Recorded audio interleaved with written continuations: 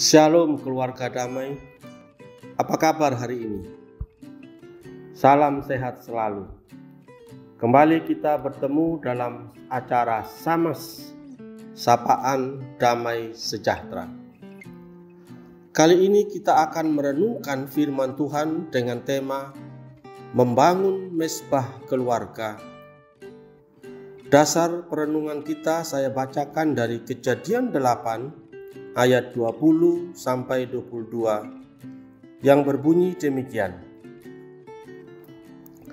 Lalu Nuh mendirikan mesbah bagi Tuhan dari segala binatang yang tidak haram dan dari segala burung yang tidak haram diambilnyalah beberapa ekor lalu ia mempersembahkan korban bakaran di atas mesbah itu Ketika Tuhan mencium persembahan yang harum itu, berfirmanlah Tuhan dalam hatinya, Aku takkan mengutuk bumi ini lagi karena manusia, sekalipun yang ditimbulkan hatinya adalah jahat dari sejak kecilnya.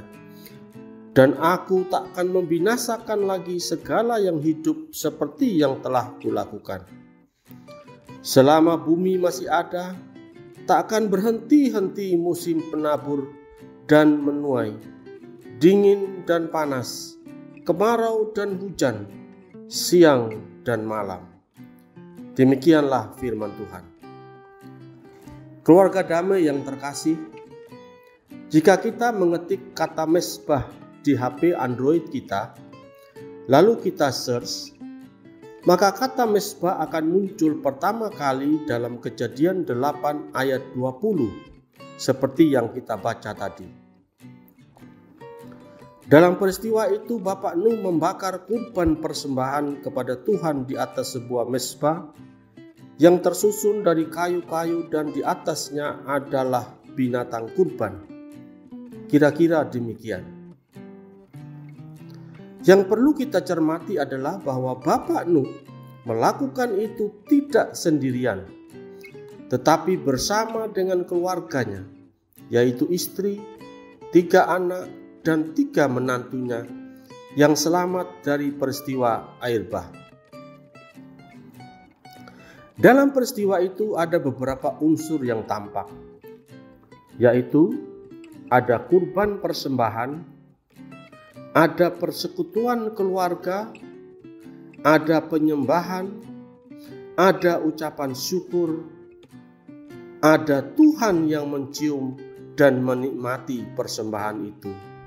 Sehingga yang terakhir ada berkat Tuhan yang diucapkan sebagai janji pemeliharaannya atas bumi dan segala isinya sampai hari ini.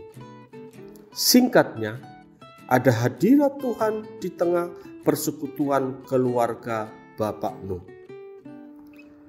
Keluarga damai yang terkasih, berbicara tentang mesbah keluarga, maka tidak bisa dipisahkan dari adanya kesehatian anggota keluarga, ada pujian, doa, firman Tuhan, ucapan syukur, dan adanya kehadiran Tuhan yang mencurahkan berkatnya atas keluarga kita. Karena itu, maka mesbah keluarga itu harus dibangun di dalam sebuah keluarga sebagai momen yang sangat penting untuk membina keintiman antar anggota keluarga dan keintiman dengan Tuhan, Sang Pemberi dan Pemelihara kehidupan. Dalam mesbah keluarga itulah kita bisa berbagi kehidupan, keseharian kita satu dengan yang lain, dan juga kita bisa mengungkapkan segala pergumulan kita kepada Tuhan secara bersama-sama.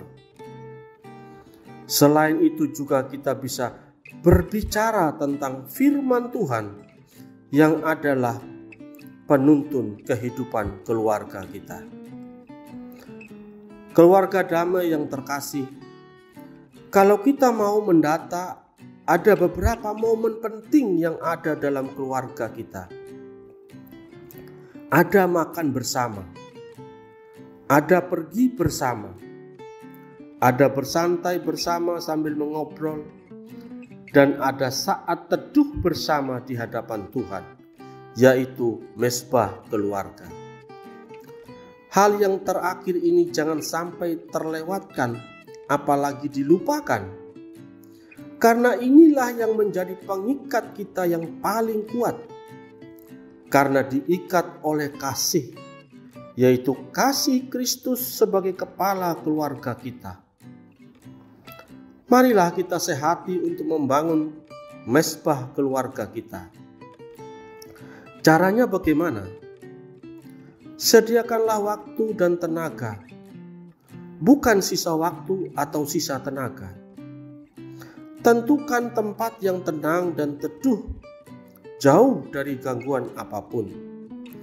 Matikan semua penghalang seperti HP, telepon, kompor, televisi, mesin cuci, dan lain-lain yang dapat membuyarkan konsentrasi kita saat berfokus kepada Tuhan.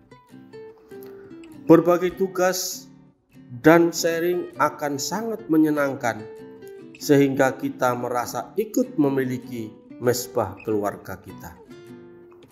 Dengan demikian, maka keluarga kita akan kuat secara spiritual dan terpelihara di dalam anugerah Tuhan dalam keadaan apa pun juga. Amin. Mari kita berdoa. Ya Tuhan, kepala keluarga kami, kami bersyukur Engkau telah menempatkan kami dalam keluarga kami masing-masing. Kami bersyukur untuk keberadaan keluarga kami kami bersyukur untuk kehadiranmu dalam keluarga kami ketika kami bersama-sama sujud di hadapanmu. Kami memohon agar kiranya kasihmu sebagai pengikat di antara kami terus memenuhi kehidupan kami sebagai keluarga-keluarga GKI Damai. Biarlah mesbah keluarga kami selalu menyenangkan hati Tuhan, menjadi persembahan kami yang harum di hadapanmu. Terima kasih ya Tuhan.